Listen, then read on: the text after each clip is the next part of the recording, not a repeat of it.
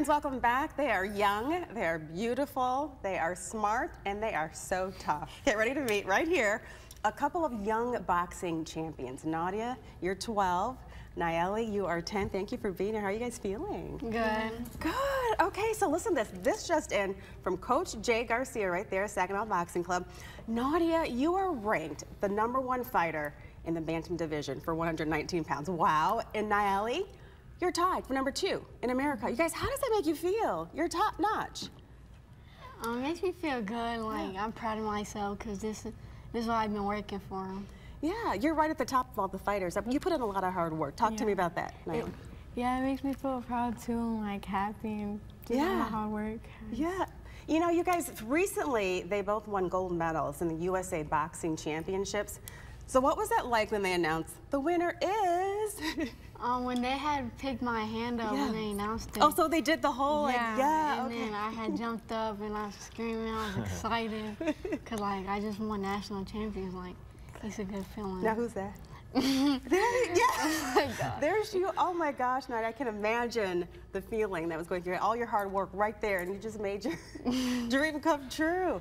Yeah. Nayeli, what was that like for you? And they said, "Oh my God, the winner." Um, I was just happy. I didn't care what nobody thinks. I know. I know, I know. what they thought. So did the, they did this for you too, Nayeli? Yeah, the winner is. That must be. It's so exciting when you, when you see that, you mm -hmm. know, in there. Oh my gosh. Okay, so Coach Jay.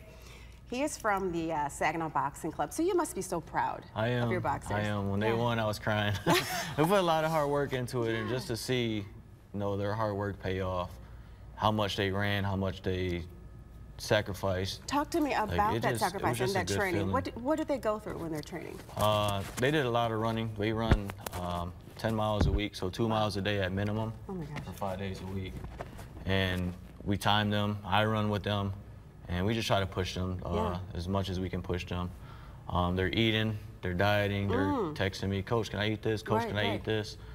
And yes, no, yes, right, no. So just a lot of sacrifices they made, missing birthday parties mm -hmm. or missing other things and come to the gym, come to the gym early, sometimes stay a little late, yeah. but it's just a lot of sacrifice. so what's that like, young girls? Because you both, Nadia and Nayeli, you're young and you want to go out and have fun, mm-hmm. but you're also committed and you're passionate to box, right? So what's it like to sacrifice? I mean, I mean, sometimes like there be days where like I want to go to my friend's house yeah. and I want to go hang out, but then it's just like I'll be thinking like your your opponent's in the gym. That's right. And so like you might as well go to the gym. You better get in there and, and it's worth it. Though. Work it out. Mm -hmm. Okay.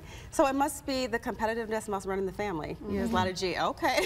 like, yeah, everyone's competitive and and all that. What advice do you have to other kids out there who may have a dream to do something and they're like, what do I do?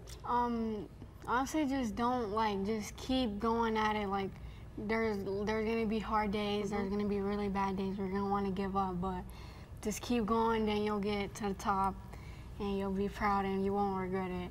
You guys are mm -hmm. top boxers. Congratulations. I, you know I am so happy. I love you guys. You guys are so amazing. You keep doing what you're doing, and thank you for being such a highlight and inspiration to all the young kids out there. We appreciate you. Keep me updated on your progress, okay, guys? Mm -hmm. Thank you so much. Oh. These are awesome. Thank you, Coach. Appreciate you. You're so welcome. If you have any ideas of what you would like to see on our show, you can send them to us at WNEM-4PM News at WNEM.com. Just use the subject 4 p.m. News Spotlight.